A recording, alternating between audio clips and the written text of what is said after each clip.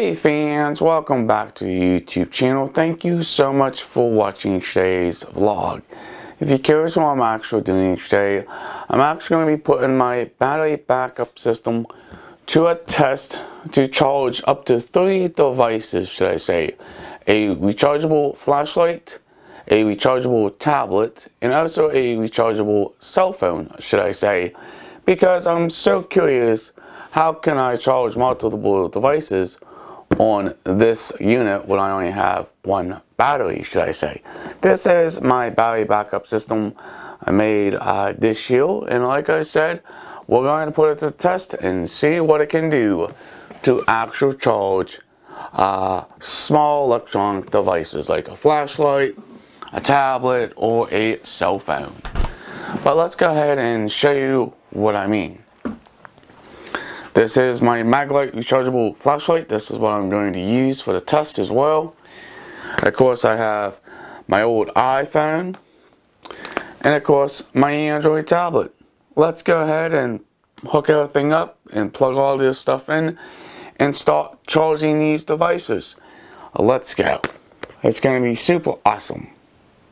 Let's take a look at how this stuff is going to charge on the box itself.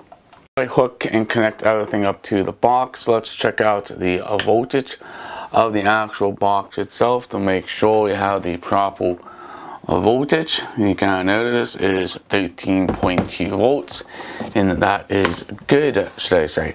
Let's go ahead and turn that side off. Let's go ahead and connect my flashlight to the charging dock itself leaving that off for a minute. And let's connect everything else like my USB cables to the USB ports. One going to this side and one goes to this side. Well, we might have one of these or a lightning cable and one of these or just a regular standard uh, USB. Let's go ahead and plug my phone in. Okay leaving everything turned off. Let's go ahead and plug my tablet in. Now let's go ahead and turn that on. should charge it though. Okay, charging tablet and charging my cell phone. Okay, that's looking pretty good. And let's go ahead and turn on the uh, switch for the uh, charging for the flashlight and yes and everything else will still work. Looking pretty good doesn't it? Looks awesome. Actually, my battery backup system doesn't have wireless charging built into it because some of my devices like the Maglite uses a charging dock and my iPhone 6s and my tablet uses a USB cord for you can charge those devices that way.